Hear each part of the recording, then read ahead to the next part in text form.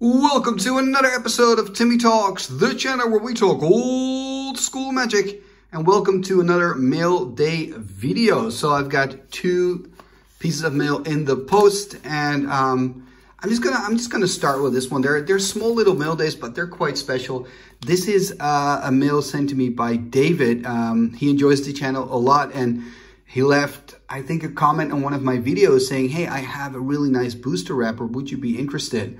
I'm like, yeah, you know, sure, because I collect booster wrappers as well. And he actually just sent it to me. So that's very, very kind of you, David. Just gonna have a look and share it with all the viewers here on the channel.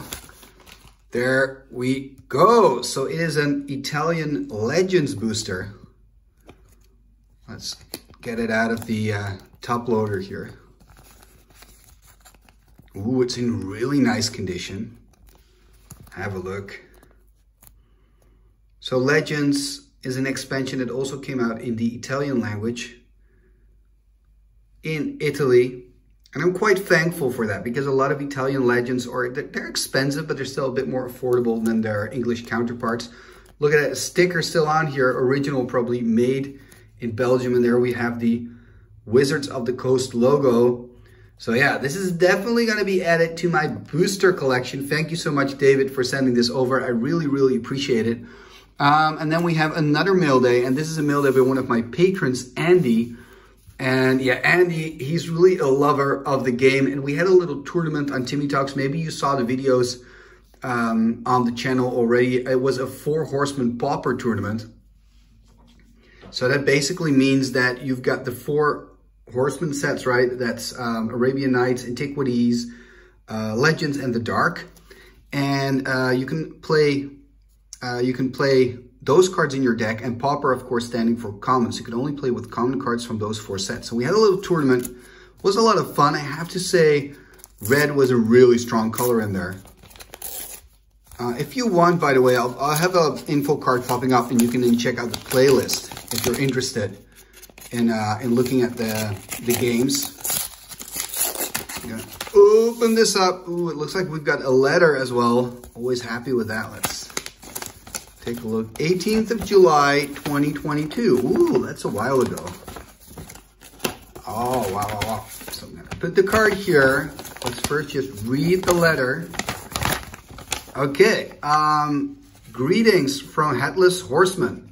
Everyone in our pot from the Four Horsemen Pauper Tournament signed this card. It is our way of saying thank you for all that you do to organize tournaments for the Timmy Talks community. Each player in our pot received a copy like this. We have also sent a copy to Crouton Man as well. Sweet! We chose one of the most effective cards in Four Horsemen Pauper card pool in order to gather these signatures. The cards were shipped all over the US and into Canada. Thank you, Timmy and Crouton Man, for organizing these fun and unique old school events. Keep up the great work. And then we've got signatures from their group, Chris, Derek, Tom, Andy, and Michael. That is pretty sweet, man. So Andy's Andy's called Steam Floggery on, uh, on Discord, by the way. That is so cool. And yeah, this was the MVP card, definitely. Man, that is nice.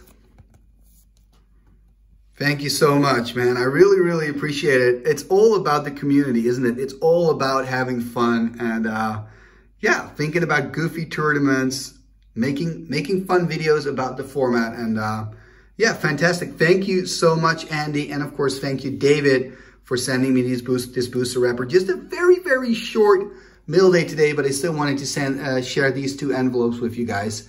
And um, thank you for watching another episode right here on Timmy Talks, and see you next time.